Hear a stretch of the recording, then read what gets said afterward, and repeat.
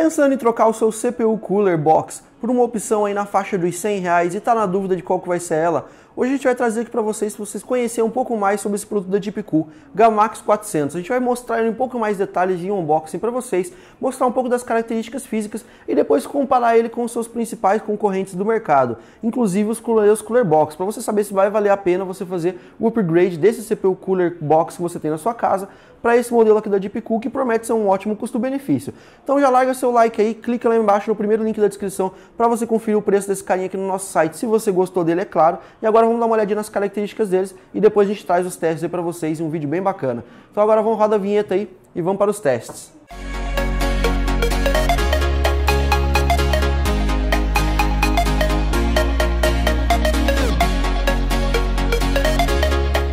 Bom, pessoal, então essa aqui é a caixa do Gamax 400, tá? Da Deepcool, tá? A gente pode ver aqui que a cor predominante dela é branca, tem a logo da Deepcool aqui na parte de cima dela, né?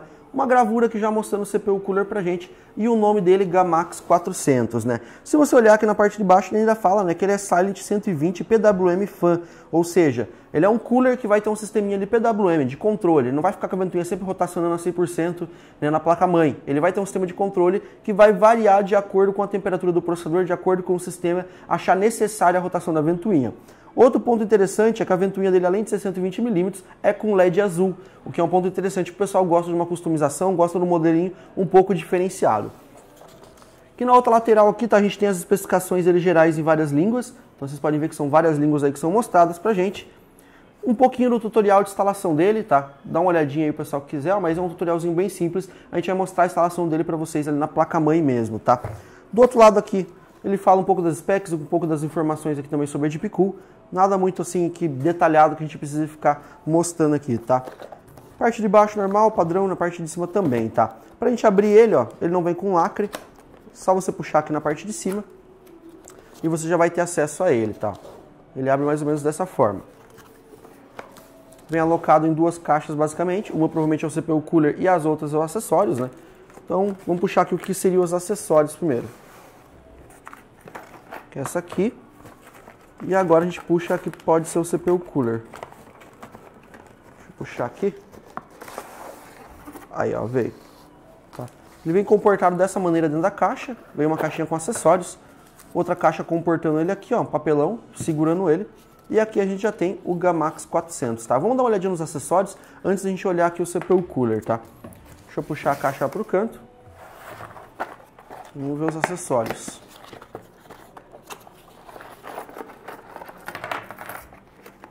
Ver, vem manual também. Presilhas. E mais presilhas, tá. Deixa eu ver, acho que não é o manual não, hein. É, ele não é o manual, tá. Aqui é um, basicamente um folheto de produtos, tá? Da Deepcool, mostrando os gabinetes deles. Inclusive a gente tem vários desses modelos no nosso site disponível, tá? CPU Cooler também. Então ele mostra alguns modelos de CPU Cooler. Esse aqui é um que eu quero fazer teste. Então, pessoal da Deep Cool aí, ó, manda esse aqui que eu quero fazer teste e quero pôr na minha máquina ali, que, cara, pelas fotos, pelos vídeos que eu vi, ele é gigantão, promete ter um desempenho muito bom. É um cara que eu tô bem curioso para ver o desempenho mesmo, sabe? Estojinho aqui com pasta térmica, tá? Pasta térmica da Deep Cool aqui, vem a quantia basicamente certa para você aplicar no CPU Cooler. Parafusos aqui para você fazer a instalação, tá? Dessas presilhas aqui na base do CPU Cooler. Vem quatro, não vem nenhum extra. Kit de instalação ali para Intel. Então temos aqui o kit de instalação padrão para Intel, ó. Você vai aprender na base do CPU Cooler, depois eu mostro mais detalhes. Outro ponto interessante aqui, né, pra galera aqui, né, que quer fazer um sistema push and pull, além da ventoinha que ele vem de 120mm, você pode adicionar uma segunda ventoinha, a sua escolha, a sua preferência, tá? Então ele vem com um kitzinho de duas presilhas, você não fica preso somente a uma ventoinha no CPU Cooler. Ponto interessante aí pra Deep Cool também, né? Sisteminha de instalação para AMD, tá? Então aqui é o sisteminha padrão, se você tiver um kit AMD, você basta você plugar ele ali na placa-mãe, vai conseguir fazer a instalação também tranquilo. Nos acessórios, né, ele vem com estojinho com pasta térmica. Então, a pasta térmica é da Deep para você poder fazer a, a instalação né, do seu CPU Cooler. Ele não vem pasta térmica na base, tá? Parafusinhos ali são quatro, bem pequenininhos, para você fazer a fixação dessas bases, desses presilhas aqui, na verdade, na base do sistema de air cooler, né? Ponto interessante. Duas presilhas aqui para você fazer o kit de instalação LGA 2011. Isso vem no tutorialzinho na parte de trás da caixa. Vou deixar nas takes aí para vocês, se deram para vocês é tranquilo, né? Kitzinho de presilhas aí para fazer instalação no processador AMD, né? Se você tiver um kit AMD, você pode fazer instalação utilizando esse kitzinho aqui, tá? Facinho de instalar, é bem tranquilo mesmo. Todos os kits são bem tranquilos de instalar. Tá? E um kitzinho aqui para você fazer instalação em processadores é, Intel, é, ele já 1150, 775, então em vários sockets, tá? Ele fala aqui, ó, até alguns. 775, 1156, 366, suporta também 1155, 1151, então você pode fazer instalação tranquilamente, tá? Basicamente, ele é o kit de presilhas, isso aqui eu achei um ponto bem interessante, tá? Para facilitar bem a instalação. Ele é o kit de presilha do Cooler Box. Se você olhar aqui, ó, ele é aquele mesmo sistema do Cooler Box. Você basicamente chega em cima da placa-mãe e pressiona para baixo. Ele vai fazer a instalação e vai grampear na placa-mãe e fica fixo o CPU Cooler. Isso é um ponto interessante que facilita bastante e fica realmente bem fixo. Até porque ele não é um cooler muito alto, então não vai ter aquele problema de ficar variando de um lado para o outro, né? E para a galera que quer fazer um sistema aí com push and pull, ele vem com duas presilhas extras aqui para você adicionar uma ventoinha extra de 120mm da sua escolha. Então você não fica limitado somente a uma ventoinha. Mais um ponto interessante aí, né? Agora vamos olhar aqui pouco do Gamax 400, tá? Da Deepcool. Bom, e esse é o Gamax 400, tá? Primeiro ponto que a gente pode observar aqui é que ele é um CPU cooler que é pesadinho, tá? Então isso mostra que ele tem uma área de dissipação boa, tem bastante conteúdo aqui para fazer a dissipação, tá? Ventoinha de 120mm na cor preta, tá? Ela tem um detalhezinho ainda que tem o LED azul, tá dando para vocês ir nos takes aí bem tranquilo. A parte dos heatsinks deles são todos heatsinks de alumínio, tá? Todos bem retinhos, heatsink padrão aí, ó, bem bacana, para fazer a parte da dissipação do calor, né? E a gente consegue observar também através deles os heat pipes, tá? Nesse caso aqui são quatro heat pipes, são heat pipes de cobre, tá? Um detalhezinho bem bacana aqui na parte de baixo, mostra certinho eles. Vou até tirar o adesivinho aqui, ó. Você deve remover ele para fazer a instalação do CPU cooler. Não vai colocar isso aqui em cima do processador que vai ficar uma nhaca, não vai funcionar bem, tá? Fora que ainda pode correr o risco de não aquecer demais o processador e acabar dando algum problema para você na sua máquina. Vocês conseguem observar todos os heat pipes, heat pipes em contato direto com o CPU, que são os quatro aqui no total achatadinhos, né? Buraquinho para os parafusos aqui, que é onde você vai pôr as presilhas para fazer a fixação em cima da placa-mãe, né? Ponto interessante também. Tá, e basicamente é isso aí, tá? Um CPU cooler que é bem simples. A ventoinha é feita a fixação com essas presilhas metálicas aqui, que vem um kit extra, como eu já mostrei para vocês, para você fixar uma ventoinha extra. Eu vou fazer a instalação dele agora na bancada, podem acompanhar aí. A gente vai dar uma olhadinha nele ligada e eu já mostro para vocês os testes também e alguns resultados que a gente obteve com esse carinha aqui, que é bem bacana pelo visto, tá? Na parte de cima tem a logo da Deep Cool ali também, tá? Bem assim, discretinho, a gente quase não viu ali, mas tem a logo da Deep Cool na parte de cima. Agora vamos fazer a instalação desse carinha aqui. Bom, galera, então eu peguei uma placa-mãe aqui. Eu vou fazer um tutorialzinho de instalação rápida para vocês, só para mostrar que é simples. É simples para qualquer kit, tipo 2011, para 1151, 1150 ou para AMD. Vou mostrar num kit Intel aqui que eu tenho que é mais fácil. No caso é um 1151 com uma B150, tá? CPU cooler está aqui. Kit de presilha para 1151 que a gente vai utilizar é aquele que eu mostrei para vocês que é mais ou menos o sistema do cooler box. A gente só precisa fazer a fixação. Além disso, a gente vai precisar do kitzinho de parafusos que acompanha ele. Vou soltar aqui na mesa e da pasta térmica, tá? A pasta térmica eu não vou fazer instalação aqui, vocês vão ter que tirar ela um pouquinho aqui, colocar uma gotinha ali em cima, porque eu só vou simular a instalação para vocês, tá? Vou pegar uma chavezinha aqui também. E vou mostrar aqui para vocês como é que funciona. Para você fazer a instalação é simples, tá? Você pega o CPU cooler, vira ele com a base virada para cima, tá? Você pode ver que ele fica paradinho ali com as heat pipes, não tem nenhum problema. Deixa eu puxar esse cabinho chato para cá. Não ficar passando a parte de cima. Você vai pegar o kitzinho de instalação que eu mostrei para vocês que é para 1151, tá? É aquele kitzinho que parece do Cooler Box.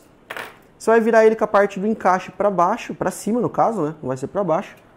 Pegar aqueles parafusinhos miudinhos que eu mostrei para vocês, que é parte da instalação da base. Colocar ali parafusar os dois, tá? Você vai fazer isso dos dois lados e com os quatro parafusos, não tem segredo, tá? É só basicamente parafusar ali, alinhar e parafusar.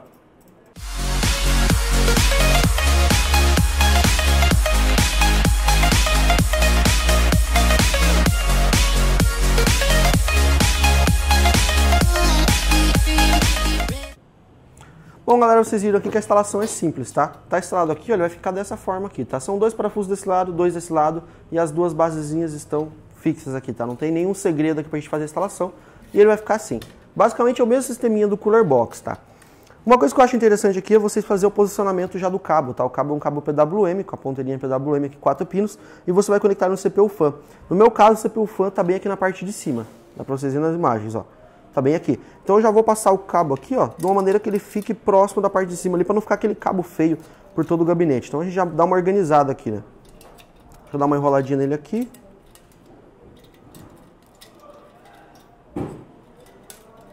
Olha, ó, ficou o mínimo de cabo possível aparecendo ali, a gente vai poder fazer a instalação tranquilo do CPU Cooler, tá? Você tem que lembrar o posicionamento, como você vai utilizar dentro do seu gabinete. Depende da forma que tiver posicionado as ventoinhas no gabinete, vai ser a forma que você vai posicionar o seu CPU Cooler, tá? No meu caso aqui, o ideal, dizemos assim, vai sair o ar para a parte de trás do gabinete, a ventoinha do gabinete vai estar tá aqui. Puxando o ar para fora, eu teria que pôr com o dissipador virado para essa ventoinha que vai tirar o ar do gabinete, e a minha ventoinha aqui virada para a parte das memórias. Então ela vai puxar o ar daqui, o ar de dentro do gabinete, vai passar pelo dissipador e vai empurrar para fora. Seria essa a melhor forma num gabinete. Como eu estou numa bancada aqui, eu vou mostrar para vocês em qualquer posição. Eu vou colocá-la virando, jogando o ar, no caso, para a parte da frente do gabinete, só para ficar mais demonstrativo e vocês poderem ver a ventoinha durante a instalação, tá? Para a gente fazer a instalação, vocês vão ver que tem os quatro furinhos na placa-mãe, não tem segredo. Passou pasta térmica na placa-mãe, chega ali posiciona as presilhas nos quatro furinhos, tá? Não tem segredo não. Ó. É bem intuitivo e ele basicamente já cai no buraco e fica certinho lá. Depois é só você dar um aperto, um de cada lado. Bom, galera, meu dedo é um pouco ogro, então não coube direito aqui, mas basicamente você vai, aperta aqui, aperta aqui e ele vai ficar fixo. Você pode erguer, inclusive, pela placa-mãe, pelo CPU cooler que vai erguer a placa-mãe e não vai ter problema nenhum, tá? Atente-se sempre, tá? Ele não vem com pasta térmica na base. Então, tira o protetor, que nem eu mostrei para vocês no vídeo, não coloca isso aqui na base e passa a pasta térmica, tá? Ele vem com o tubinho de pasta térmica ali, coloca, senão vai dar enhaca e não vai funcionar bem, não vai dar o desempenho que vocês desejam, tá? Cabinho do CPU cooler aqui, você pega e conecta ele na parte do CPU foi na parte de cima. Encaixou, tá feita a instalação dele, tá? Prontinho para uso e agora vamos para os testes. Vamos ver ele ligado antes com esse LED bonitinho dele e daí a gente vai para os testes dele, ok? Não tem nenhuma base na parte de baixo, ó, tudo pela parte de cima. Você pode fazer com o gabinete fechado sem nenhum problema. Só abrir a primeira tampa ali do gabinete. Agora vamos para os testes. Bom, pessoal, agora que vocês já viram o unboxing do cooler, já viram alguns detalhes dele, já puderam ver a estrutura, né? Hora da gente dar uma olhadinha nele ligado aqui, né? A gente ligou ele aqui na nossa bancada com o i7 4790K. Vai lembrar que o processador é um i7 bem top e ele está em estoque. Em comparativo, a gente comparou com um principal concorrente dele aí, que seria o, o PCIe 0K Z5, né? E comparamos também com o Cooler Box, para vocês saberem se vale a pena a troca ou para substituir né, pelo Gamax 400 aí da Deep Cool, tá? Os resultados que a gente conseguiu aí foram muito bons, tá? Esse primeiro gráfico aqui que eu vou mostrar para vocês é um gráfico que vai mostrar um diferencial bem grande, tá? Foi no Cinebench R15 e eu mostrei todo o monitoramento para vocês, vocês estão vendo agora na tela, tanto da ventoinha quanto da questão da temperatura do processador. A ventoinha monitorando o RPM dela, tá? O RPM, ele, como vocês podem ver, vamos só falar aqui para vocês, né? Em azul está o Intel Cooler Box, em vermelho está o PCE 0KZ5 e em verde está o nosso cooler aqui do review, que é o Deepcool Gamax 400, tá?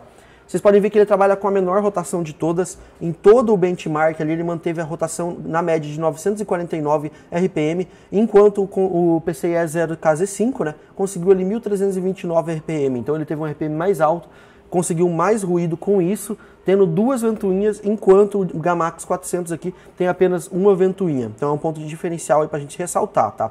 Cooler Box, como já era previsto, ele vai ter uma rotação mais alta, na casa dos 2.300 RPM, inclusive tendo uma ventoinha menor, gerando mais ruído. Na questão da temperatura no Sandbench R15, ele conseguiu surpreender a gente também, tá? Comparando com os três coolers aí, nesse comparativo geral, é, a temperatura dele ainda conseguiu ser menor, ganhando inclusive do concorrente, né, que seria o 0KZ5 da PCIS, que inclusive tem duas ventoinhas, é um sistema push and pull contra uma ventoinha nesse sistema aqui que você pode adicionar uma ou outra se você quiser, tá? A gente notou essa diferença de temperatura provavelmente deve ser por causa da base, tá? Onde está em contato diretamente com o CPU. Enquanto o, o Gamax 400 aqui ele tem a base com os contatos ali dos heat pipes direto com o CPU, o CCE 5 como vocês já viram na análise dele, ele tem a base niquelada, então não é em contato direto às heat pipes, tá? A temperatura ficou 46 graus na média para o Gamax 400, 50 graus para o PCS Casa 5, né? E para o Intel Core, o Intel Box Cooler, né? O padrãozinho da Intel lá, deu 65 graus. Isso em um teste de benchmark, tá? Com o processador i7. Deu temperaturas até ok, né? Se a gente for vendo uma gameplay, no caso no game Battlefield, né? A gente pode ver que o Intel Box deu 62 graus. Nada assim exorbitante também, porque a gente não está trabalhando com um overclock aqui na bancada. PCS 5 né, conseguiu 49 graus e o Deep Cool Gamax conseguiu 46. Uma diferença bem grande se a gente for ver, até porque ele tem uma ventoinha menos, né? E é um cooler mais barato. A gente está comparando 250 reais do PCIe Z5 contra na faixa dos 100, 120 reais do Deep Cool né, Gamax 400. Em EDLE, que é ele ocioso ali dentro do sistema, foi onde teve a maior diferença. Se a gente for ver, 26 graus para o Gamax 400, é, 32 graus para o PCIe Z5 e o Intel Cooler Box né, ali né, foi 33 graus, bem próximo do Z5. Então a temperatura dele ganhou em todos os testes, o RPM foi mais baixo, é um cooler mais barato, então se mostrou ser muito eficiente. Então é isso aí, pessoal. Espero que vocês tenham gostado do teste que a gente fez com o Gamax 400. Tenha dado para vocês terem uma ideia da performance dele comparado com o Cooler Box e com um concorrente dele aí de mercado, que inclusive é mais caro. Tenha dado para vocês terem uma ideia de qual que é a performance dele, nível de ruído, a estética dele, que eu achei um cooler bem bonito, tá? Pelo preço, que é a faixa dos 120 reais, 100 reais, eu acho que é uma ótima escolha para vocês. Então não esqueça de comentar lá embaixo o que vocês acharam desse cooler, comentar opções de coolers pra gente trazer nos próximos vídeos aí para vocês, inclusive da, da própria Deep Cool aí pra gente estar tá trazendo em comparativo com o Gamax 400. Se você não gostou do vídeo, não esqueça de deixar seu like aí, adicionar esse vídeo aos favoritos, se inscrever no canal e ativar o sininho aqui para não perder nenhum dos nossos vídeos. Até a próxima!